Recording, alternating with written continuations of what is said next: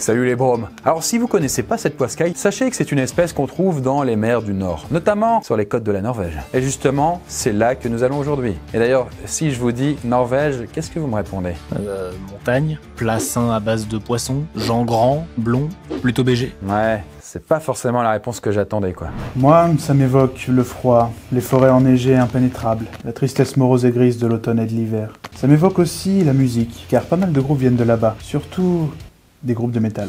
Exactement. C'est d'ailleurs là-bas qu'est né un mouvement musical assez euh, extrême, voire carrément extrême. C'est ce qu'on appelle le black metal et l'objectif initial de ce style est de repousser les limites de la brutalité musicale aussi loin que possible, quitte à créer un genre carrément haïssable et inaudible pour les profanes. Le monteur te nous met un petit extrait? Choqué. Voilà, on sait à quoi s'en tenir et s'ajoute à cette musique agressive toute une imagerie sombre qui flirte volontiers avec le satanisme. Eh bah écoute, je connaissais pas, mais je me demande bien qui a pu inventer un style pareil. Eh ben, justement, aujourd'hui, on va s'intéresser à un groupe considéré par beaucoup comme les pionniers du genre. Certains d'entre vous connaissent peut-être déjà ce groupe puisqu'il est toujours actif de nos jours. Bon, je préfère vous le dire dès maintenant, l'histoire de ces artistes est aussi sinistre que leur musique. Ce sera violent, ce sera sanglant, ce sera sombre. Ne perdons pas plus de temps et assistons à une messe noire avec les membres de Mayhem.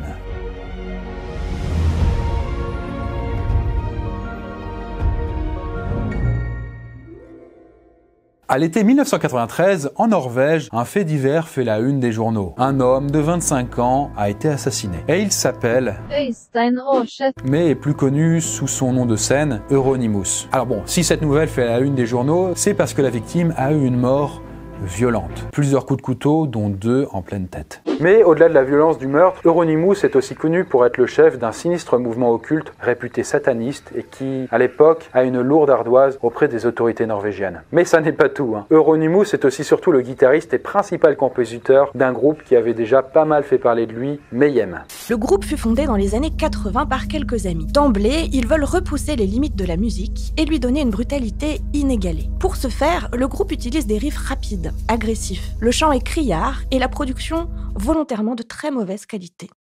Mais Euronymous, le guitariste, a décidé d'aller plus loin que la musique. Il veut que l'image du groupe soit aussi extrême que possible. Et pour ça, il ambitionne de créer toute une mythologie satanique autour de Mayhem. Attends, même moi qui écoute pas spécialement de métal, je sais que l'image du diable est indissociable du genre depuis des lustres. Alors certes, à l'époque, le diable est déjà présent dans l'imagerie du métal, mais à part dans certains groupes un peu particuliers, sa représentation ne faisait pas vraiment peur. En fait, Satan apparaissait plus comme un camarade de beuverie ou une figure de contestation se voulant dérangeante. Thank you to uh, Satan for giving me inspiration on how to play this role.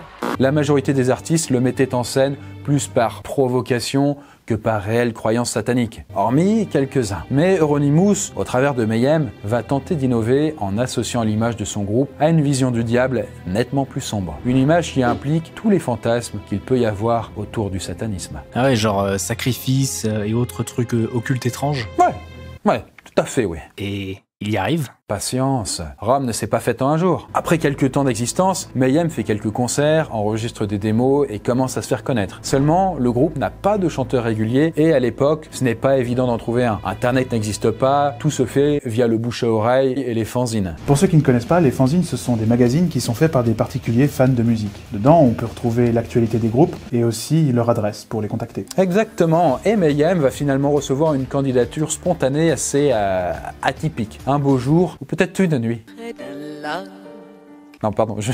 un beau jour, un petit colis atterrit dans la boîte aux lettres du groupe. Dedans, il y a une lettre et une cassette contenant une démo musicale. Bah, c'est pas bizarre. Attends, attends, attends. C'est pas terminé. Dans le paquet, il y a aussi, il y a aussi une souris. Plus précisément, un cadavre de souris partiellement putréfié et crucifié sur une petite croix, toute mimi. Ah, c'est dégueu. On me dit pas qu'ils ont embauché le gars qui a fait ça. Bah, bah si quoi. Bah si quoi. Ça c'est c'est le genre de truc qui séduit. Et c'est comme ça qu'un chanteur qui se fait nommer Dead entre dans le groupe. S'il a un tel surnom, c'est tout simplement parce qu'il est fasciné par la mort. Et le moins qu'on puisse dire, c'est qu'il va marquer au fer rouge l'histoire du groupe. Parce que en plus d'être un bon chanteur, il correspond tout à fait à l'image démoniaque qu'Euronymous, le guitariste, veut donner à Mayhem. En fait, Dead a connu une expérience de mort imminente quand il était jeune. Il a été cliniquement mort pendant quelques instants et suite à ça, il a développé une véritable fascination pour la mort et l'au-delà. Et là, je ne vous parle pas d'avoir une déco un peu sombre chez soi et des t-shirts avec des crânes. Et tu remarques que tu les reconnais pas?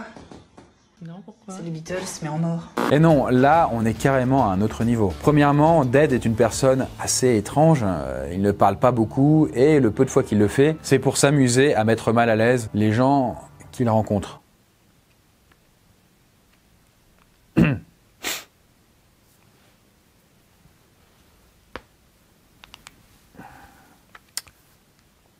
Excusez-moi. Contrairement aux autres membres du groupe, il ne joue pas à être fou.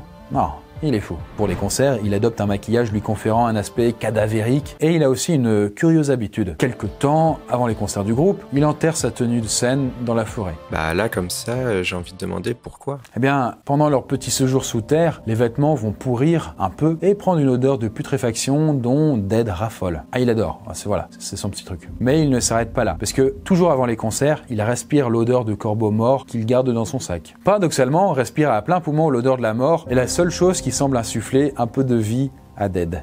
Mais ce n'est pas tout. Dead est allé beaucoup plus loin. En fait, il a des tendances suicidaires et il a plusieurs fois projeté l'idée de se mutiler sur scène pendant les concerts. Bon, si une partie du groupe désapprouve cette idée, Euronymous, lui, il y voit une excellente occasion de crédibiliser un petit peu plus l'image démoniaque du groupe.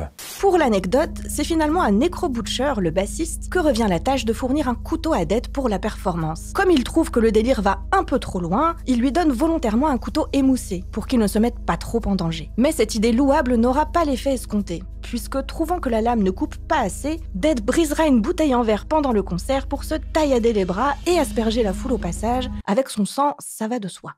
Et encore, ça n'est pas tout. Pendant les concerts, Mayhem a pris l'habitude de mettre des têtes de cochon sur des pics juste devant la scène. Des vraies têtes de cochon. hein. Ainsi, avec des performances aussi spectaculaires, le groupe commence à se forger une sérieuse réputation. Les concerts s'enchaînent et les musiciens s'installent dans une ancienne ferme pour répéter et composer. Seulement, les relations entre Euronymous et Dead se D'ailleurs, Euronymous n'hésite pas à encourager son chanteur à mettre fin à ses jours, ce qui serait un sacré coup de pub pour le groupe, quoi. Et donc finalement, ce qui devait arriver arriva. Et alors qu'il était seul à la ferme, Dead s'ouvrit les veines, mais trouvant que la mort ne venait pas assez vite, il se fit sauter la tête avec un coup de fusil. C'est Euronymous qui va découvrir le cadavre du chanteur dans une mare de sang, le crâne explosé par la balle de fusil. Et avant de mourir, Dead a laissé une note dans laquelle il dit qu'il s'excuse pour avoir mis du sang partout et des paroles pour un morceau du groupe, Life Eternal. Voilà, ça pose un peu l'ambiance quoi. Ceci dit, en voyant le corps, Euronymous a une réaction euh, assez inattendue. En fait, il ne contacte pas la police, n'appelle pas d'ambulance, non. Il va au magasin du coin pour se procurer un appareil photo, puis revient devant le corps de son ami et le prend en photo. Attends, quoi? Attends, je, je crois que j'ai mal entendu là. Non, non, il prend bien en photo le corps de Dead. Mais il y a pire que ça, il bouge légèrement le couteau utilisé par Dead pour qu'il rentre dans le cadre, histoire que ça fasse plus spectaculaire, quoi, plus extrême. Voilà, la mise en scène, ça ne s'improvise pas. Et après ça, il fait développer les photos et va même jusqu'à les envoyer à un label qui s'en servit plus tard comme pochette pour un disque pirate du groupe. Malheureusement, cette photo est facilement trouvable sur internet et figure même encore aujourd'hui sur certains t-shirts non officiels du groupe. Mais il est complètement malade. Pourquoi il a fait un truc pareil? Eh bien, d'après ses dires, il trouvait l'expérience de voir un corps tellement intéressante qu'il voulait la partager. Mais bon, la théorie la plus probable, c'est qu'il voulait utiliser le suicide de Dead pour fortifier toujours un peu plus l'image noire du groupe. Mais ça a plutôt bien marché, hein, on va pas se mentir. Et avec la mort de Dead, le groupe ajoute une pierre à sa légende noire et acquiert une véritable aura maléfique. En parallèle de ses activités dans Mayhem, Euronymous ouvre une boutique de disques spécialisée dans le métal extrême, ça va de soi. Il nomme sa boutique ce qui veut dire l'enfer en norvégien. La mort en espagnol. Il fonde aussi son propre label musical. Progressivement, cette boutique devient un véritable QG pour tous les fans du black metal et un véritable mouvement underground commence à se former. Il prend pour nom le Black Circle, le cercle noir quoi. Euronymous devient naturellement le leader spirituel de ce mouvement dont il cultive volontairement l'image fermée, secrète et malsaine. Au-delà de la musique, il ambitionne de créer un vaste mouvement occulte et secret, inconnu des non-initiés. Pour ça, il instaure certaines règles. Premièrement, interdiction de parler du cercle. La première règle du Fight Club est il est interdit de parler du Fight Club. Deuxièmement, les membres doivent suivre un code vestimentaire. Pas de basket, pas de jean. Le mouvement rejette tout ce qui renvoie d'un peu trop près à l'influence culturelle des États-Unis et à ce qui est cool. Et puis, bon, autre règle, interdiction de se balader dans la rue avec un sac en plastique. Alors, je peux pas vous dire pourquoi, euh, c'est peut-être leur côté écolo un peu avant l'heure, euh, je sais pas. Certains membres du mouvement eux-mêmes ne comprenaient pas. Bon, en tout cas, pour garantir sa domination sur le cercle, Euronymous envoie des menaces de mort à tous ceux qui contestent de manière plus ou moins directe son autorité. Ah ouais, sympa l'ambiance. Certes, mais ça n'empêche pas le cercle de rassembler de plus en plus d'adeptes, et l'un d'entre eux changera à jamais l'histoire du mouvement black metal. Cet homme s'appelle Varg Vikernes. Il vient de Bergen, une grande ville de Norvège. Lui aussi fait de la musique et a un groupe nommé Burtsum. Seulement, contrairement à Mayhem, il est seul dans son groupe et joue lui-même tous les instruments. Varg a aussi décidé de repousser les limites de la musique. Pour ça, il pond des riffs agressifs, plutôt répétitifs, et opte pour une production volontairement pourrie. Et quand je dis pourri, c'est vraiment pourri.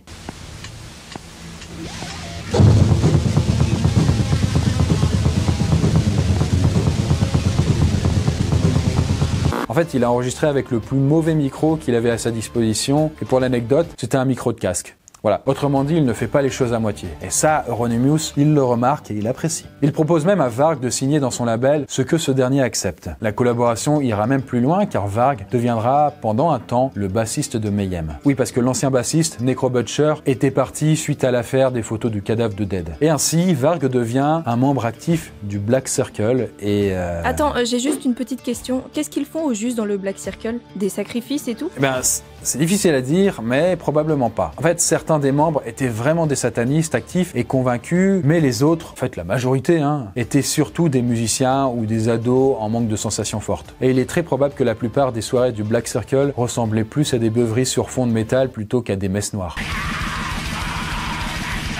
Mais la salle où tout ce petit monde avait l'habitude de se rassembler, les sous-sols de la boutique, est devenue aujourd'hui un véritable lieu de pèlerinage pour pas mal de fans du genre.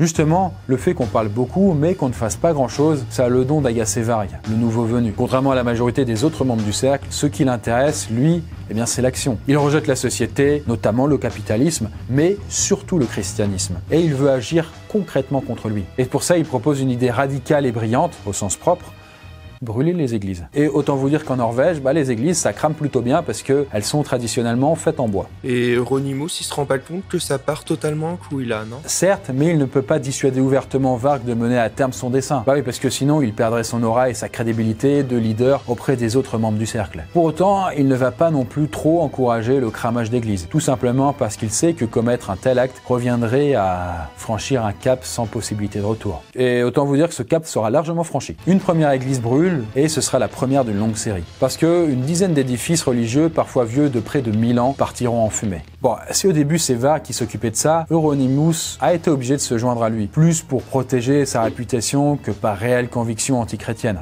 Alors, on ne sait pas s'il a personnellement mis le feu à une église, mais il a participé à certains incendies, clairement. Tous ces bûchers géants ne manquent pas de choquer et d'attirer l'attention des médias. Cependant, rien ne permet de prouver directement que les membres du Black Circle sont bien les coupables de ces destructions. Même si Varg prend un malin plaisir à faire figurer une des églises qu'il a cramées sur la pochette d'un de ses albums. À l'intérieur du mouvement, les choses changent. Varg devient très populaire et commence à faire de l'ombre à Euronymous. Pour ce dernier, les affaires ne vont pas très bien en plus. Il connaît des revers financiers de plus en plus sérieux car son label et son magasin de disques sont un véritable gouffre financier. Et pour ne rien vous cacher, il ne parvient même pas à faire rémunérer les artistes qui ont signé chez lui. Ceci dit, musicalement, Mayhem continue de travailler. Même si le groupe a arrêté les concerts, un nouvel album est enregistré et il est intitulé et deviendra une des pierres angulaires du black metal. Mais les choses ne vont pas durer et un événement va mettre le feu aux poudres, sans mauvais jeu de mots. Parce que après un énième feu, Varg décide de contacter un journal pour revendiquer l'incendie. Alors, ses motifs sont pas très clairs. Hein. Il prétend que c'est Euronymous lui-même qui lui aurait demandé pour faire de la pub à sa boutique LVT, qui était au bord de la à ce moment-là, mais d'autres théories disent que Varg voulait donner plus d'importance au mouvement en le médiatisant et au passage faire parler de son groupe. Quoi qu'il en soit, Varg donne une interview qui a l'effet d'une bombe. Et malgré le fait qu'il ait gardé l'anonymat, il est arrêté quelques jours plus tard, mais sera relâché faute de preuves. En parallèle, un autre membre du cercle a commis un meurtre. Bref, les choses prennent toujours plus d'ampleur et deviennent incontrôlables. Mais Euronymous, dans tout ça, il fait quoi? Eh bien, sous peine de perdre son aura de chef charismatique, il n'a pas d'autre choix que de cautionner les crimes des membres du cercle. Voilà, acquiescer comme si tout était prévu. Et il n'hésitera pas à le faire, notamment dans une interview par la radio suédoise, dont voici un petit extrait. Et pensez-vous que ce soit bon de brûler des églises pour attirer l'attention? Les chrétiens doivent sentir qu'un pouvoir sombre et maléfique est présent et qu'ils doivent le combattre. Nous croyons que quand une église brûle, ne sont pas seulement les chrétiens qui souffrent, mais les gens en général. Car la maison de Dieu une belle chose. A été détruite. On répand le chagrin et le désespoir, ce qui est une bonne chose. Voilà, ça vous donne une petite idée de l'ambiance. J'ai une remarque. Ouais, dis-moi. Ben, j'ai l'impression que tu nous dépeins Euronymous comme quelqu'un de dépassé par les événements. Et il a l'air quand même déter et plutôt convaincu par le satanisme. Peut-être qu'il gérait tout en fait. Certes, on pourrait le penser, mais les témoignages des gens qui l'ont connu ne vont pas vraiment dans ce sens. Parce que d'après certains, Euronymous était ce qu'on peut appeler un fils à maman et faisait tourner tant bien que de mal ses affaires avec de l'argent prêté par ses parents. Certains disent même qu'il a fermé sa boutique de disques après l'interview de Varg pour ne pas que sa famille soit trop mêlée au scandale des églises brûlées. Il va foutre le feu à la baraque. Bref, c'est pas très satanique tout ça. Quoi qu'il en soit, les relations entre Varg et Euronymous ne cessent de se dégrader. Les tensions augmentent même car, rappelez-vous, Varg a signé chez le label d'Euronymous. Or, ce label est tellement fauché qu'il ne peut verser à Varg les royalties des ventes de Burzum, son groupe, ni le rembourser de l'argent qu'il a avancé pour la presse de ses propres CD. Quoi qu'il en soit, Euronymous décide de reprendre l'ascendant. Et pour ça, il a recours à une technique qu'il a déjà utilisée et qui a fait ses preuves, les menaces de mort. En fait, plus précisément, il menace indirectement de kidnapper Varg en le tasant, de le mettre dans son coffre et d'aller le torturer à mort dans une forêt en filmant le tout pour faire un film. Oui, bon, ça peut faire un peu sourire dit comme ça, d'autant plus que Ronimous n'avait ni voiture, ni le permis de conduire, ah, fils à maman, je vous dis. Mais une chose est sûre, Varg prend la menace très au sérieux et il est décidé à ne pas se laisser intimider. Il se décide à rompre tout contact avec Euronymous. Seulement, les deux hommes doivent encore se voir une dernière fois pour une affaire de contrat. Comme Varg craint qu'Euronymous ne profite de sa dernière entrevue pour le tuer, hein, tout simplement, eh bien il décide de le prendre de court, de prendre les devants et de lui rendre visite au milieu de la nuit. Oh putain, je le sens mal. Qu'est-ce qui s'est passé? Eh bien, c'est cette nuit-là qu'Euronymous est mort, tué par Varg. Il aurait reçu une vingtaine de coups de couteau, dont deux dans la tête, cinq dans le cou et le reste dans le dos. Enfin, ça c'est une version des faits car Varg a plaidé la légitime défense. Selon lui, la plupart des blessures s'expliqueraient par le fait que lors du meurtre, Euronymous, qui était en sous-vêtements, est tombé dans du verre brisé et s'est fait de profondes entailles. Bon, vous trouverez en description le témoignage oral de Varg ainsi que sa version écrite des faits, pour faire votre propre opinion quoi. Mais quoi qu'il en soit, Varg, qui au passage a aussi été jugé pour les incendies d'église, a pris la peine maximale en Norvège, soit 21 ans de prison. Et après, il s'est passé quoi? Bah en prison, il a composé quelques albums et écrit un bouquin de JDR de jeu de rôle quoi. Finalement, il a fait une quinzaine d'années avant d'être libéré, comme c'était prévu par la constitution norvégienne. Après ça, il est venu s'installer en Corrèze.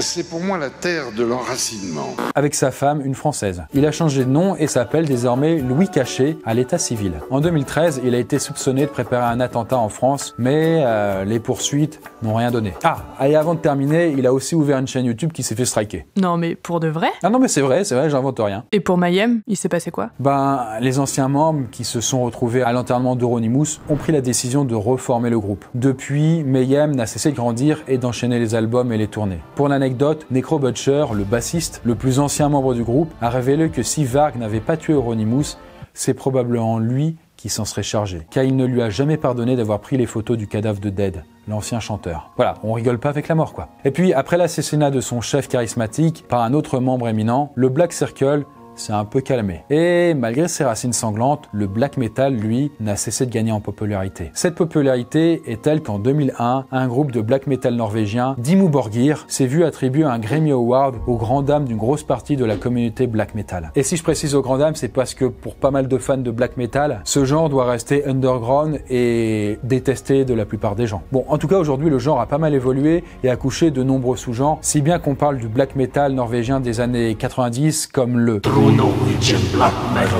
Quoi qu'il en soit, le black metal est devenu populaire, voire très populaire, puisqu'il représente aujourd'hui l'un des principaux exports culturels de la Norvège, au grand désarroi d'une bonne partie de ses fondateurs originaux. Bon bah voilà la Poscaille, j'ai vraiment aimé cette vidéo, moi. J'espère que ça vous a plu et que du coup vous... Euh, je- comment, comment dire... euh, euh, attendez, euh, petit coup de fil. You know,